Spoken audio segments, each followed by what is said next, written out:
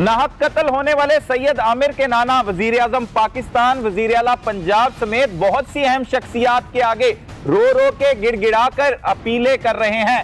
लेकिन उस दुखियारे खानदान की सुनने के लिए कोई तैयार नहीं। उन्हीं की जुबानी जान लेते हैं कि उनके जज्बात क्या जिस तरह आमिर बास को नाहक कत्ल कर दिया गया, इसी घर में वो वज़ू कर रहा था जिस वक्त उस पर गोलियाँ चलाई गई।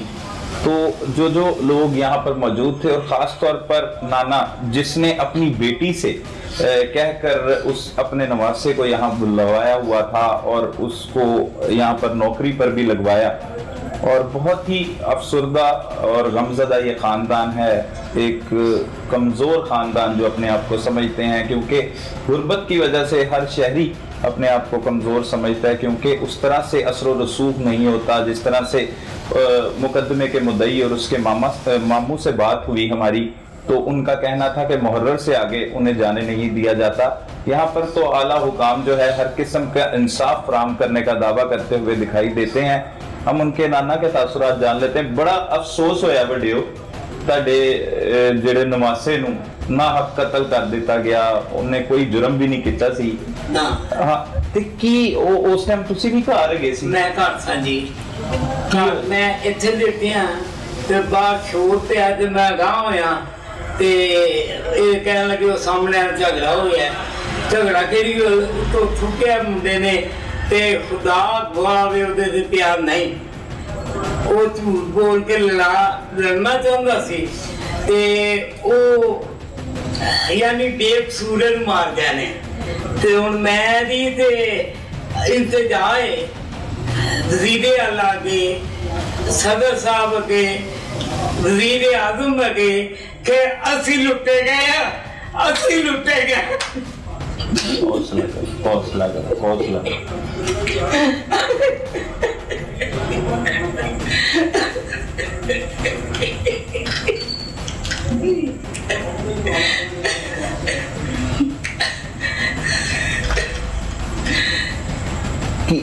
ਕਿਹੜੀ ਗੱਲ ਹੋ ਗਈ ਸੀ ਜਦੋਂ ਤੋਂ ਗੋਲੀਆਂ ਚਲਾਣੀਆਂ ਪੈ ਗਈਆਂ? ਕੋਈ ਪਹਿਲੇ ਵੀ ਤੁਹਾਡੀ ਕਦੀ ਉਹਦੇ ਨਾਲ ਲੜਾਈ ਹੋਈ? ਖੁਦਾ ਦੀ ਕਸਮੇ ਕੋਈ ਚੱਕਰ ਨਹੀਂ। ਮੈਂ ਲੰਘਦਾ ਤੇ ਮੈਂ ਬੈਠਾ ਬਾਹਰ ਹੀ ਹੁੰਦਾ ਸੀ। ਮੈਂ ਸਲਾਮ ਕਰਨੀ, ਮੁੰਡੇ ਆਉਣਾ ਤੇ ਮੁੰਡਿਆਂ ਸਲਾਮ ਕਰਨੀ। ਕੋਈ ਸਾਡੇ ਕੋ ਉਹਦੇ ਕੀ ਗੁਨਾਹ ਹੋਇਆ ਕਿ ਜਿਹੜਾ ਉਹਨੇ ਇਹ ਪਾਕਿਸਤਾਨ ਯਜ਼ੀਦ ਜਿਹੜਾ ਸਾਡਾ ਤਬਾਹੀ ਕਰ ਗਿਆ ਹੈ। ਮੈਂ ਮੁਸਲਮਾਨ ਦੀ ਉਹਨੂੰ ਕਹਾਂਗਾ ਉਹ ਯਜ਼ੀਦ ਦੀ ਨਸਲ ਹੈ। ਹਮਸਾਇਆਂ ਦੇ ਤੇ ਬੜੇ ਹਕੂਕ ਹੁੰਦੇ ਵੱਡੇ। ਜੰਜਰ ਨੇ ਕੀਤਾ ਬੜਾ ਵੱਡਾ ਜ਼ੁਲਮ ਹੈਗਾ ਤੇ ਉਸ ਤੋਂ ਬਾਅਦ ਤੁਸੀਂ ਕੀ ਵੇਖਿਆ ਜਦੋਂ ਇਹ ਹੋ ਗਿਆ? ਪੁਲਿਸ ਕਿੰਜ ਦਾ ਤਾਬਨ ਕਰ ਰਹੀ ਹੈ ਪੁਲਿਸ ਆਪਣੇ ਸਾਨੂੰ ਕਹਿੰਦੇ ਰਹੇ ਜੀ ਅਸੀਂ ਬੜਾ ਤਾਮਲ ਕਰ ਲਿਆ ਨੌ ਦਿਨ ਹੋ ਗਏ ਨੇ। ਅਜੇ ਤੱਕ ਉਹ ਆਕੜ ਕੇ ਲੰਘਦਾ ਆਉਂਦਾ। ਕੋਈ ਉਹਨੂੰ ਖਤਰਾ ਨਹੀਂ ਸਾਡਾ।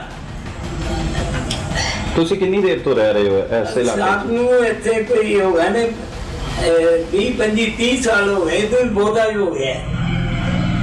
ਤੇ ਕੀ ਕਰਦੇ ਸੀ ਤੁਸੀਂ? ਕੀ ਕਰਦੇ? ਮੈਂ ਤੇ ਵੇਲਾ ਵੇਲਾ ਮਾਂ ਨਹੀਂ ਨਹੀਂ ਪਹਿਲੇ। ਪਹਿਲੇ ਮੈਂ ਰਕਸ਼ਾ ਚਲਾਉਂਦਾ ਸੀ। ਫਿਰ ਮੈਂ ਬੈਗਨ ਚਲਾਉਂਦਾ ਰਿਹਾ।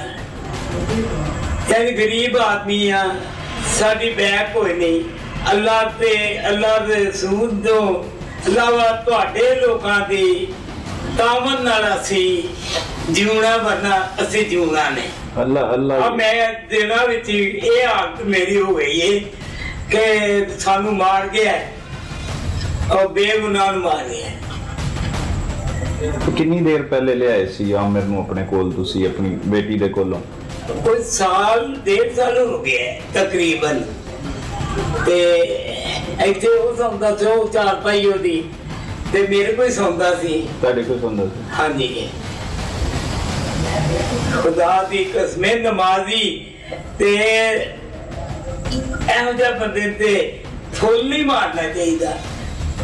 ਉਹਨੇ ਇੰਨਾ ਜ਼ੁਲਮ ਕੀਤਾ ਜਿੰਨਾ ਸਾਫ਼ ਨਹੀਂ। ਨਾ ਸਾਨੂੰ ਮਾਰ ਗਿਆ।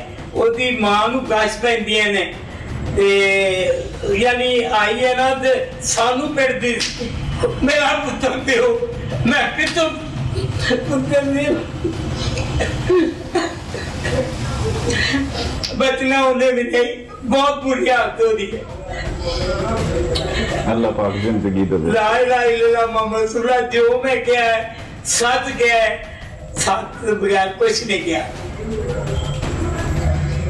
ਕੀ ਤੁਸੀਂ ਇਮਰਾਨ ਖਾਨ ਸਾਹਿਬ ਵਜ਼ੀਰ ਆਜ਼ਮ ਹੈਗੇ ਆ ਇਸ ਮੁਲਕ ਦੇ ਉਸਮਾਨ ਬੁਜ਼ਦਾਰ ਸਾਹਿਬ ਵਜ਼ੀਰ ਆਲਾ ਪੰਜਾਬ ਹੈਗੇ ਆ। ਇਹਨਾਂ ਨਾਲ ਕੀ ਗੱਲ ਕਰਨਾ ਚਾਹੁੰਦੇ ਹੋ ਸ਼ਾਇਦ ਉਹਨਾਂ ਤੱਕ ਪਹੁੰਚ ਜਾਓ। ਮੈਂ ਅਰਥ ਇਹ ਦੋਵਾਂ ਅਗੇ ਤਿੰਨਾਂ ਅਗੇ ਕਰਨਾ ਗਵਰਨਰ ਸਾਹਿਬ ਅਗੇ ਵਜ਼ੀਰ ਅੱਲਾ ਅਗੇ ਆਪਣੇ ਉਮਰ ਖਾਨ ਸਾਹਿਬ ਅਗੇ ਕਿ ਖੁਦਾਰਾ ਗਰੀਬਾਂ ਦੇ ਬੈਕ ਕਰੋ खुदा की कसमें सानको वकील दे देने लिए पैसे नहीं है कुरान मजीद की कसम खा के ना कि साथ इतने गरीब हाँ कि थोड़े किसान वक्त पास होता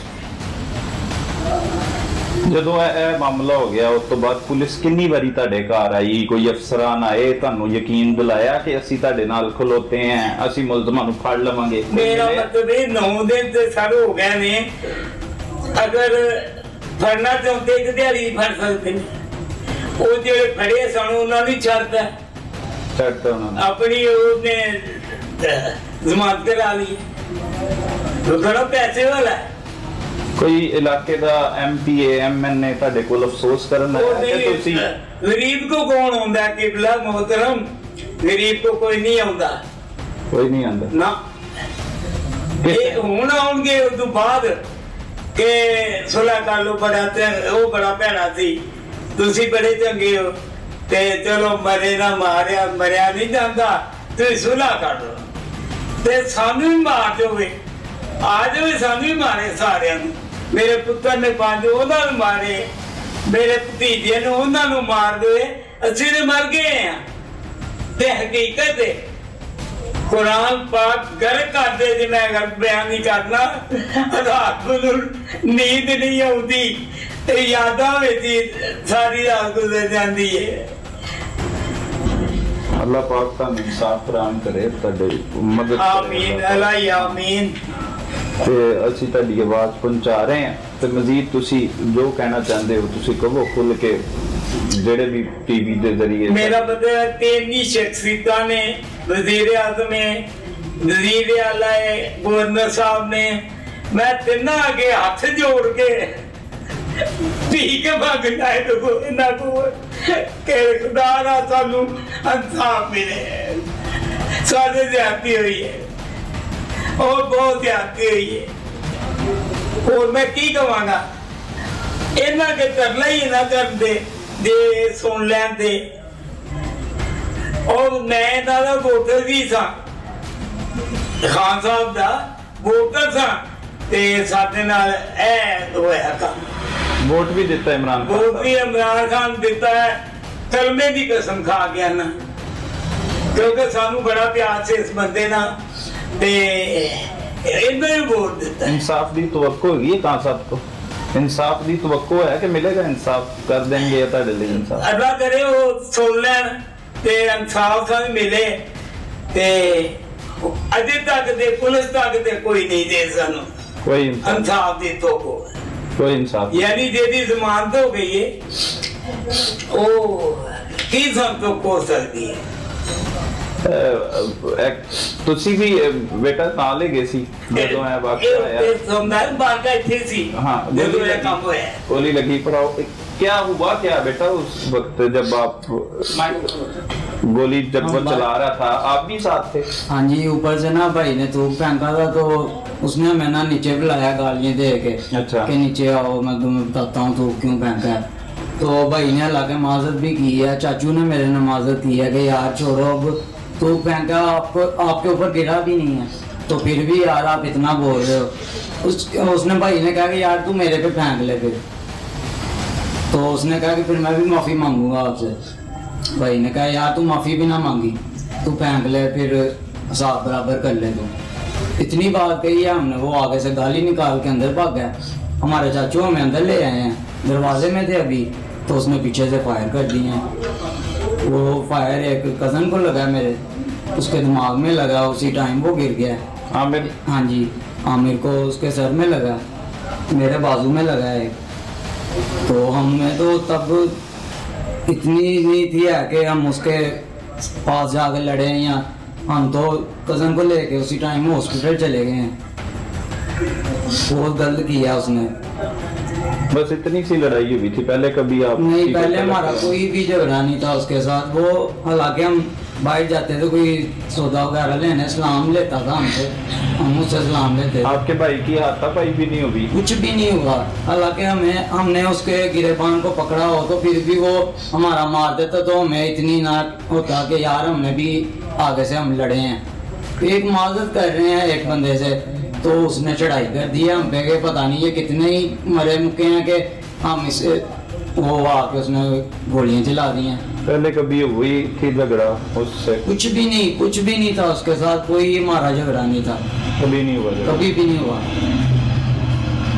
नाजरीन ये वो खानदान है जिनके एक नौजवान आमिर अब्बास को चंद रोज कबल कत्ल कर दिया गया और इसलिए कत्ल किया गया कि उससे भी मालूम नहीं था उसे क्यों कत्ल किया जा रहा है और जो कत्ल कर रहा था उसे भी मालूम नहीं था कि वो गोलियाँ चला रहा है और किसे ये गोलियाँ जा लगेंगी। उसके बाद मुलजिम बासानी वहाँ से फरार हो गया। पुलिस जो दावे करते हुए दिखाई देती है, पुलिस मुलजिम को गिरफ़्तार नहीं कर सकी। अब मालूम ये मसूल हो रही हैं कि मुलजिम ने अबूरी जमानत भी करवा रखी है और गमजदा खानदान जिस तरह दुख और तकलीफ़ के साथ ज़िंदगी गुजार रहा है, वो आपके सामने है। बुज़ुर्ग नाना जिसने अपनी बेटी से उसके बेटे को यहाँ पर बुलवाया हुआ था और नौकरी लगवा कर उसे खुशियाँ देना चाह रहा था, लेकिन वो एक गम का पहाड़ जो है उस खानदान पर आ गिरा है और वो किस तरह से ज़िंदगी गुजारने पर मजबूर हो चुके हैं, उन्हीं की जुबानी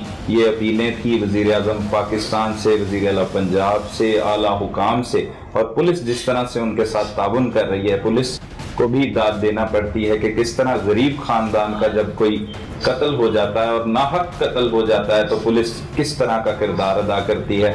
इसलिए इसको भी खराज तहसीन पेश करना होगा। जहाँ पुलिस के बहुत बहुत बड़े कामों को हम खराज तहसीन पेश करते हैं तो पुलिस जब मुलजमान का साथ देती है और पुलिस गुरबा के ऊपर जो है, वो दहशत और एक खौफ और बलबला कायम करती है और जिस तरह यहाँ पे नुमाइंदे वोट लेते हैं और उसके बाद दूर दूर तक दिखाई नहीं देते, किसी भी दुख में, तकलीफ़ में, इतनी बड़ी तकलीफ़ आन गिरी एक गरीब घराने पर, जिनके नौजवान एक एक घर के कफील को कत्ल कर दिया गया। उसके बाद ना कोई पता लेने आया, लेकिन बुज़ुर्ग जो हमारे साथ मौजूद थे, उनके नाना, उनका ये कहना था कि ज़रूर आएँगी वो शख्सियात, जब सुलह करवानी होगी। वो तभी आते हैं जब वो सुलह करवाने के लिए आते हैं, जब वो किसी बड़े की तरफ़ से आते हैं, कभी गरीबों की तरफ़ से नहीं आते। ये तो सारी गुफ्तगु उनसे जानी। अब उस वाक्य की तरफ़ चलते हैं, जहाँ पर यह सब कुछ हुआ। इसी घर के एक दरवाजे की नुक्कर पे, जहाँ पर मुलजिम की जानिब से लगातार गोलियाँ बरसाई गई और जिससे आमिर अब्बास मौके पर ही हलाक हो गया और एक जो नौजवान है, वो जख्मी हुआ। चंद दिन से इंसाफ के लिए दर बदर की ठोकरें खाने पर मजबूर हैं, लेकिन उन्हें अभी तक तो नहीं कि उन्हें इंसाफ मिलेगा या नहीं।